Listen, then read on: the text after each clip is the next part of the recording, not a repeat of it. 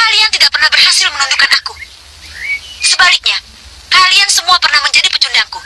Itu menunjukkan ilmuku lebih tinggi daripada kalian. Itu dulu. Jangan samakan dengan sekarang. Kau harus membuktikan bahwa kau dengan gurumu lebih sakti daripada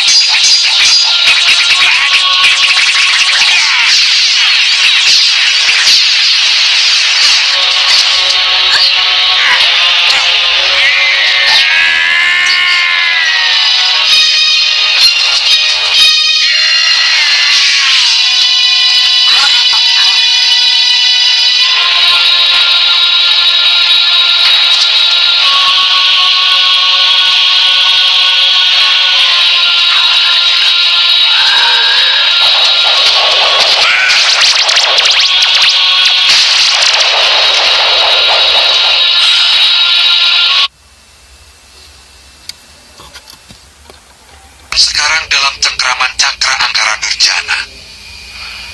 Apa itu Kiai? Kekuatan setan yang akan mencelakakan kanjeng. Hamba belum bisa menjelaskan secara rinci.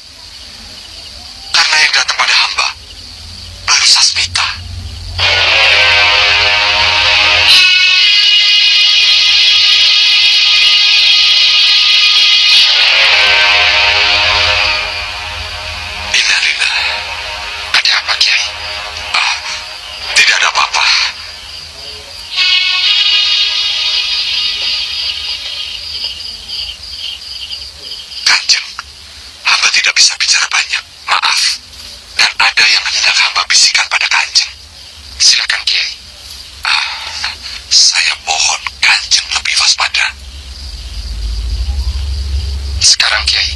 Ya, sekarang. Dan jangan lupa pusaka yang paduka miliki supaya dibawa. Ikuti semua perintah Kiai Makdum.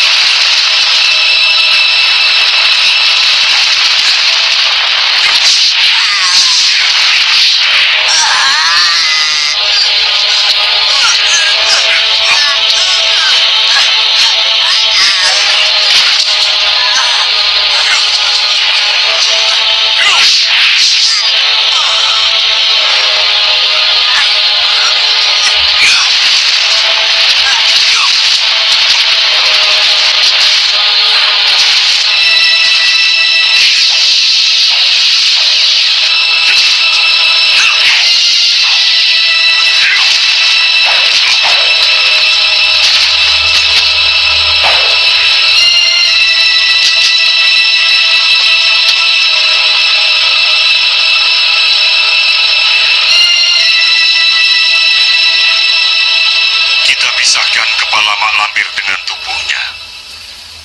Tujuh sungai dan tiga gunung sebagai pemisah. Jika kepala dan tubuhnya ini saling mendekat, pemisahnya kurang dari tujuh sungai dan tiga gunung, maka ia akan bisa hidup lagi. Meskipun bukan dalam wujud yang sempurna. Betul. Dia akan tetap membahayakan kehidupan manusia. Sebab dia masih bisa menitis pada makhluk yang dikehendakinya. Ya, mari kita kubur kepala dan tubuh Mak Lampir di tempat yang tidak bersentuhan dengan tanah.